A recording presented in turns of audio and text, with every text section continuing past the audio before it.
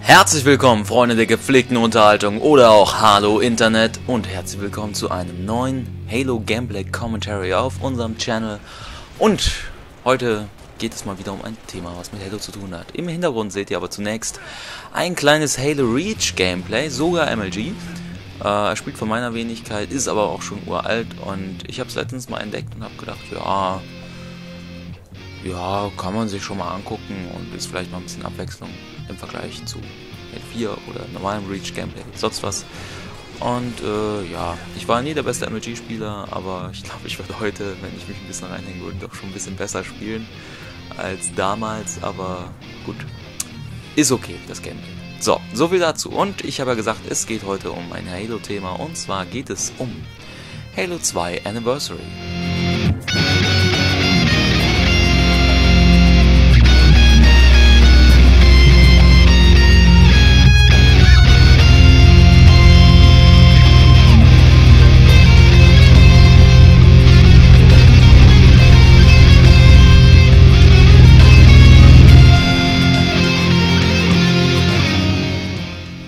Ja, Freunde, Halo 2 Anniversary, die Gerüchteküche brodelt ja förmlich, möchte man meinen. Viele erwarten, dass es dieses Jahr kommt, ähm, weil es Sinn machen würde, weil einfach zehn Jahre vergangen sind seit dem Release von Halo 2. Ähm, das ist so die erste Verbindung, die sich da viele zimmern, finde ich auch macht Sinn, erwarte ich eigentlich auch. Ähm, dann hat Microsoft oder 343, wer auch immer, in ihrem Teaser, den sie auf der E3 gezeigt haben, zu Halo 5, äh, beziehungsweise zu Halo allgemein auf der Xbox One ja gesagt, ähm, die Reise beginnt 2014, aber wie es momentan aussieht, soll Halo 5 ja wohl erst 2015 kommen. Was soll da anderes kommen als Halo 2 Anniversary? Und dann gibt es immer wieder so komische Hints, wie zum Beispiel ähm, ein Tweet von der Stimme des Master Chiefs, ähm, vom lieben ähm, Downs, heißt er, glaube ich. Genau, ja, ich vergesse den Namen immer wieder. Genau, und der Tweet lautete, I think you're ahead of yourself on Halo 5. I've read some things online that you can look forward to Halo 2 Anniversary Edition, uh, to a Halo 2 Anniversary Edition maybe this year, but I have no official information one way or the other. So, nachdem er das dann getötet hatte, einen Tag später hieß es dann wieder, ah, ich bin mir doch nicht mehr so sicher und überhaupt, weil er da wohl was ein bisschen was ausgeplappert hatte, was er wohl doch nicht hätte sagen sollen. Und da gibt es auch noch so Tweets ähm, vom äh, irgendjemand von Microsoft, vom Phil Spencer, ähm, genau, dem Kopf der Microsoft Studios, der da getweetet hat, never get tired of questions on what's coming. Just can always answer as we need news at events. Halo 2 is a good game. Punkt, Punkt, Punkt. Hm, ja, äh, naja, ne? Das sind dann immer so Tweets, wo man sich denkt, ja, ist schon sehr wahrscheinlich, dass äh, Halo 2 Anniversary doch kommt. Und ich möchte mich jetzt gar nicht damit beschäftigen, ob es kommt oder ob es nicht kommt ich gehe davon aus, dass es kommt. Natürlich kann ich es nicht sagen, aber ich bin mir da schon irgendwie relativ sicher momentan. Ähm, wenn nicht dieses Jahr, was eigentlich am logischsten und am wahrscheinlichsten ist, dann äh, nächstes Jahr oder übernächstes Jahr. Ich gehe ganz ehrlich davon aus, dass sie es auf der E3 ankündigen und dass es dann nochmal was zu Halo 5 gibt. Aber auch Halo 2 Anniversary angekündigt wird und gezeigt wird und so, hey, es kommt und wird fesch und so.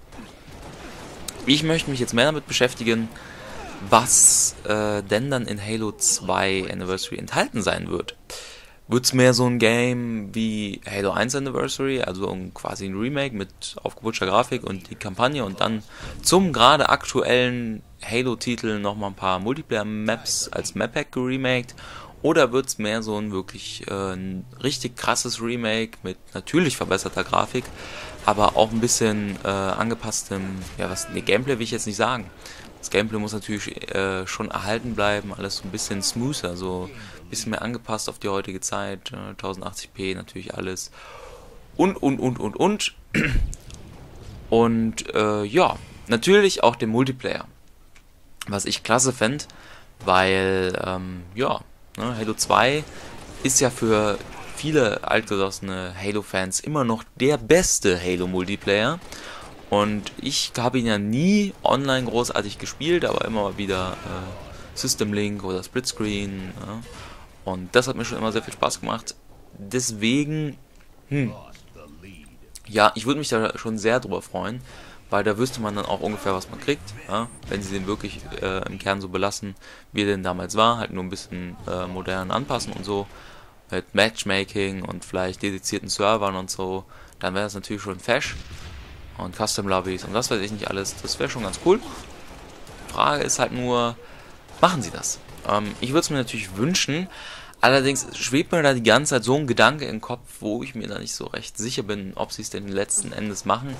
Denn wenn sie jetzt ähm, Halo 2 Anniversary rausbringen, ganz cool und super fesch, und dann natürlich auch mit Multiplayer, dann ist die Frage, wer spielt dann noch Halo 4?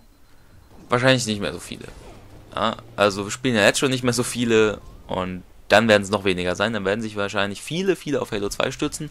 Aber dann könnten natürlich auch viele der altgesottenen Halo-Fans mal wieder zurückkehren und dann werden die Spielerzahlen vielleicht dementsprechend auch wieder etwas höher. Ähm, könnte man jetzt vermuten. Die Frage ist jetzt aber, äh, wie sieht das da mit Halo 5 aus? Wenn Halo 5 die Leute abfuckt, äh, dann werden sie sich sagen, hey, wir haben doch noch Halo 2 Anniversary, spielen wir das doch einfach. Und äh, dann wird Halo 5 vielleicht auch wieder relativ schnell ähm, ja, ziemlich leergefegt sein. Was, also im Multiplayer. Ist die Frage. Das, das ist so das, das Ding, worüber ich jetzt so ein bisschen nachdenke und mich dann frage, machen sie das?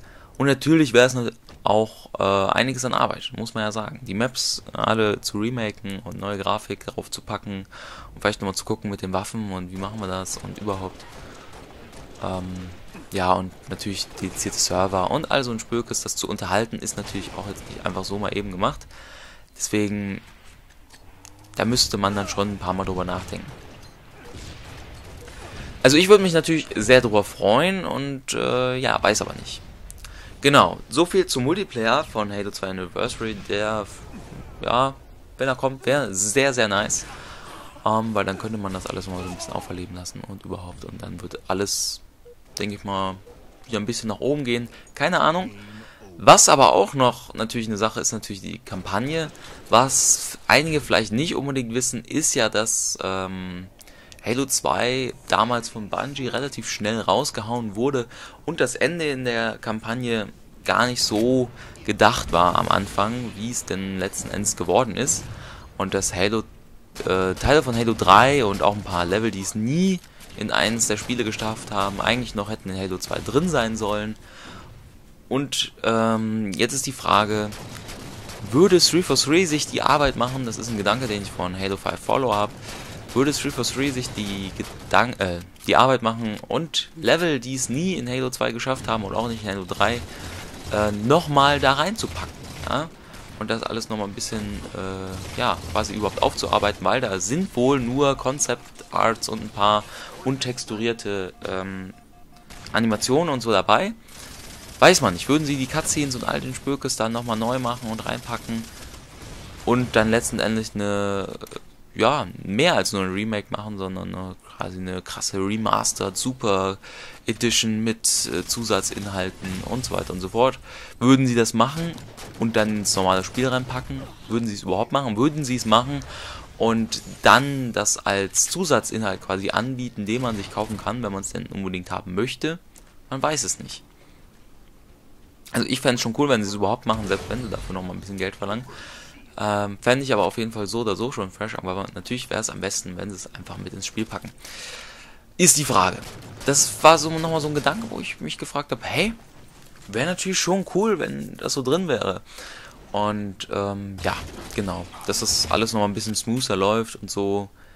Ähm, und vier Spieler Koop, statt nur zwei Spieler Koop wie in Halo 1 Anniversary. Das wäre schon alles ziemlich fesch würde ich auf jeden Fall sehr loben und das wäre natürlich geil und wird Halo 2 Anniversary dann zu einem richtigen Standalone-Spiel machen und nicht so wie äh, Halo 1 Anniversary, was dann noch mit Reach kombiniert wurde im Multiplayer und so. Ich meine, die Anniversary-Listen in Reach, die haben mir auch sehr viel Spaß gemacht, aber geiler wäre es natürlich schon gewesen, einen richtigen Multiplayer gehabt zu haben. ähm, der nochmal einige Maps mehr bietet und generell ein anderes Gefühl und so weiter und so fort. Wäre natürlich cool gewesen. Na, aber vielleicht kriegen wir es mit Halo 2 Anniversary, weiß man nicht. Genau, das waren jetzt so meine Spekulationen, Vermutungen. Ähm, wirklich viel Genaues weiß man natürlich noch nicht. Ich meine, es ist ja auch nur, in Anführungsstrichen, wenn dann halt ein Remake und kein komplettes neues Spiel, wie Halo 5 es dann sein wird. Da bin ich auch mal gespannt und überhaupt, was es zu Halo auf D3 so zu sehen gibt. Ich glaube, vorher werden wir da nicht wirklich viel ähm, bekommen. Sind ja jetzt in Anführungsstrichen auch nur noch vier Monate. Ähm, und dann geht das auch wieder schon los. Ne? Das ist E3, Gamescom und dann wird er wieder rausgebaut. Und dann ist auch, ehe man sich versieht, schon der November da und dann wird man das nächste Halo wahrscheinlich bei sich zu Hause im Regal stehen haben. Aber mal schauen. Genau, ich bin gespannt. Und wir werden es jetzt einfach abwarten müssen. Okay, das zweite Gameplay hier, Halo 4, Abandon, bisschen Infinity Slayer mal wieder. Ähm, geht noch eine Weile und hier gegen das Hologramm. Boah. So im Lift, ne, da konnte ich das jetzt ja nicht differenzieren, ob das ein Hologramm war oder nicht. Aber gut. Naja. So, ansonsten ist ja in letzter Zeit, ähm, sonst, wie gesagt, nicht so viel los in Halo. Das übliche Blabla. Und, ähm, ja. Ich habe da aber auch gar nicht mehr so die Hoffnung und das Verlangen äh, und die Erwartung, dass da irgendwie großartig sich jetzt nochmal was ändert und es wieder so wird wie früher in den guten alten Zeiten, die von manchen ja auch ein bisschen zu sehr äh, da ins goldene Licht gerückt werden, weil auch früher gab es Probleme, Leute. Ne, vergesst das mal nicht. Ähm, Früher war einfach alles neu und deswegen war es spannender. Und ja, klar, pauschal gesehen, die Spiele waren äh, schon besser, aber also was die Shooter angeht, Shooter sind ja in letzter Zeit so ein bisschen, ne? Und so, ihr wisst, ne, langsam geworden. Und ja, auch unbalanced, aber ich finde auch, das ist mir jetzt an der Titanfall Beta nochmal ein bisschen aufgefallen. Leute, einfach mal ein geiles Gameplay wieder zu haben, was schnell ist, was fast-paced ist, was einfach, ah, das gab es in den letzten Jahren auch kaum. Und wenn ich jetzt hier Battlefield 4 oder so spiele, ähm, dann denke ich mir so, huh. Da war Halo 4 in, in, der Hinsicht noch ein ganz gutes Beispiel, weil es auch eigentlich relativ schnell war, mal wieder. Bisschen schneller als äh, Reach zum Beispiel. Und deswegen war das eigentlich gar nicht so schlecht. Aber gut. So, jetzt habe ich hier meinen Running Riot und jetzt gilt es noch ein paar Punkte zu machen und dann geht es auch schon weiter. Hier der Shotgun noch ein bisschen ganze Nahkampf-Action am Stissel. Und ja, ist, ist schon krass. Muss man sagen. Aber gut, dieses ganze Gelaber, so ja, Shooter ausgelutscht, bla bla bla. Ich meine, ich kann auch noch ähm, Spielen wie Battlefield 4, wie ich eben erwähnte, noch meinen Spaß abgewinnen, aber halt nicht so krass. So mal ein Ründchen, ja. Und das war's dann aber auch, ne? Oh, ich sehe gerade, ich spiele noch mit dem Evergreen. Oh, das ist ja auch schon ewig her. Ja, hat er sich erstens umbenannt und zweitens äh, ist er jetzt PC-Spieler geworden. Ganz eklig sowas. Nee, Spaß, aber PC. Hallo. Konsole for the win und so. Leute, da du alles gesammelt und cool und fresh und connected und überhaupt. Naja, gut. Ähm, das war's zu Halo 2 Anniversary. Schreibt mir mal eure Meinung dazu in die Kommentare. Und ansonsten sage ich, ich hoffe, es hat euch gefallen, zu Halo 2 Anniversary mal ein bisschen was zu hören. Und das war's von mir. Haut rein, bis zum nächsten Mal. Tschaußen.